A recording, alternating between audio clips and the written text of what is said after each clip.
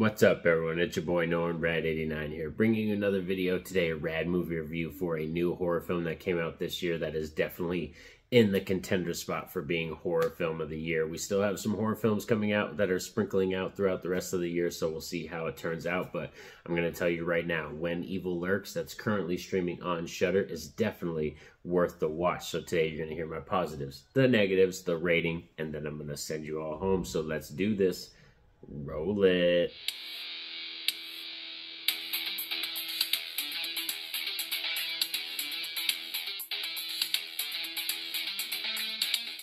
So When Evil Lurks is a new horror film that came out this year, and this one's directed by Damien Rugna. I'm sorry if I butchered that name, but I'm trying. And then he is the director, the same person who brought us Terrified, which is a film I haven't checked out yet, but after watching this one, it's definitely a film I'm interested in. It's on my watch list now. And this is a film that just, oh man, has such a great concept. And it's one of those films that I'm struggling to kind of do this review just because I don't want to say too much because I feel like the least amount you know about this movie, like in terms of the story and the characters, you want to go into it as blind as possible because this is a movie that has so much to offer in terms of the acting, in terms of the story, the gore, everything. It really has a lot to offer. And like we're talking about positives right now because I'm trying to sprinkle out the positives and not stress out too much, you know, about the story, you know what I mean? And like let you on to what's going on. But basically this is a Spanish horror film. It's a Spanish language film, so you do have to read the subtitles and everything.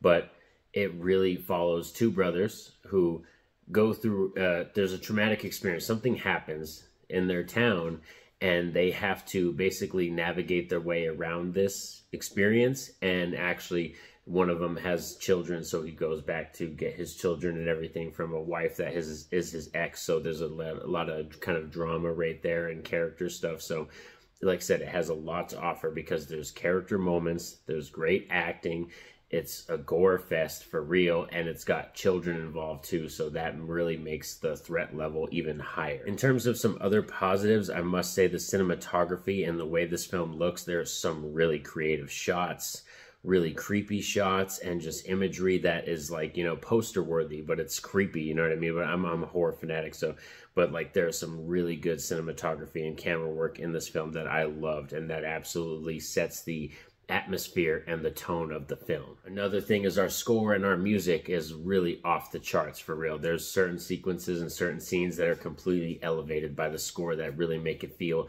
intense. For instance, there's a scene, a certain scene in this film where two men are running around a town kind of looking for a for an animal and they're just running around the town and like the beat, the, the score that's going on in the background, it really just gets your heart pumping and gets you enthralled with the moment and you feel like you're there. You're racing around the town looking for for the you know for the animal. It's really a good scene. So that is one thing like i said the score really elevates a lot of the moments in this film and being that this is a very low budget film it's a Shudder film an ifc film and it's like i said very indie very low budget but it has a great tone to it a clear cut story that is actually a really cool concept. You know what I mean? It actually brings something new to the table in terms of the subgenre of horror that it falls in line with.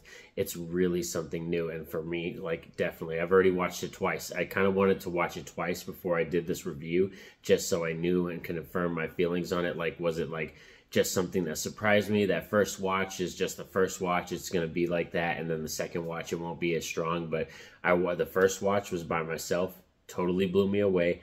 The second watch I showed my daughter, and like both of us, like said, I still was floored by it, and she absolutely loved it. So yeah, this is a film that isn't a happy film. I must stress that right now. This isn't a go lucky happy type horror film, you know what I mean, or anything like that. This is a very dark, a nihilistic tone type heavy film. So, but a lot of horror fans are into that, and if you're into that kind of movie this is going to be right up your alley. Like I said, this is in the same vein as like, you know, John Carpenter's The Thing or The Sadness. It's got a very heavy weighted tone to the film. And I also said, like I said, the acting, even there, there's children actors in here too that I think do a fantastic job. And one of our child actors is autistic and like does a fantastic job of doing that role and just how it's portrayed and everything. And it really is, is, another element to the film in terms of story that throws in a you know threat level thing. So that's what i like about this film is it's it's dark in tone it's heavy and there's actual stakes involved. So you feel the threat. And when you're watching the film it's actually a film that you're like oh damn like if this took place and this was actually happening I'm, I'd be scared for my life. And another cool thing about this movie too is that the way it's set up, they don't give you so much details, like everything, that this is a film that they really opened up the doors for an interesting world where the creators and writers of this, you could possibly have a prequel film. You could possibly have a sequel that can do and add even more to this universe. Let's talk about negatives, and there really isn't that many negatives at all. In terms of like negatives, like I really don't have that many like this is one of those films that I struggle to look for negatives for because it was just that badass. It floored me, and then even after the, after the second watch, I was still really invested with this film and really floored with it. And I watched it only like three days apart. Like it was only like a two or three day gap apart, and I still, like I said, absolutely enjoyed it. And I could probably return to it right now and watch it. So rewatch value is high. The gore is fantastic. Like I said, there's the negatives in here is stuff that yeah, maybe it might have been a little too long maybe. Like that's maybe one negative but that's like a minor thing. It like really a minor negative is that it could have been a little too long and that maybe for some people out there this might not be a heavy rewatchable film because of the content and how heavy it is. But for me like i said i already watched it twice in the, the three days or whatever and i would totally be down to watch it again if somebody was like let's check it out right now. So yeah when Evil Lurks is all that and a bag of chips. So time to find out the rating for this bad boy, and in my book, Norin Radd 89, I'm going to give When Evil Lurks a 9.5 out of 10. Like, this is a fantastic film, one that I highly, highly recommend you go check out. Like I said, it's currently streaming on Shudder and is totally in the spot of being a contender for horror film of the year when we all said and done when it comes down to the end of the year. But I'm still really excited for Eli Roth Thanksgiving. I think that's going to swoop in and be a really, really fun slasher.